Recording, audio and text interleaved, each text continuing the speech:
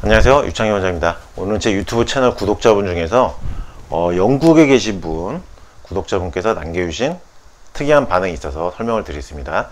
어, 이분이 어떤 약차를 끓여서 드시는데 생수가 없어서 탄산 그 탄산 생수 그 탄산수로 그 약차를 끓여서 드시니까 관절 통증이 유발되었다가 그 탄산수가 이제 다 소진돼서 새로운 일반 생수로 그 약차를 끓여서 드셨더니 그때는 괜찮았다는 겁니다. 그러니까 어, 이 물의 종류에 따라서도 어떤 몸의 통증 반응이 달라지는 어떤 특이한 어떤 반응이 지금 이분이 말씀해 주신 반응인데요.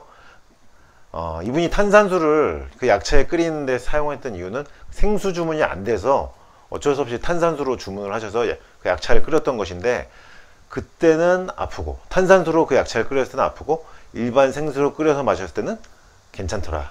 그 물로 바꾼 다음부터는 바로 통증이 줄을다. 이런 특이한 어떤 경험을 공유해 주신 건데요. 이것은 우리가 무엇을 알 수 있냐?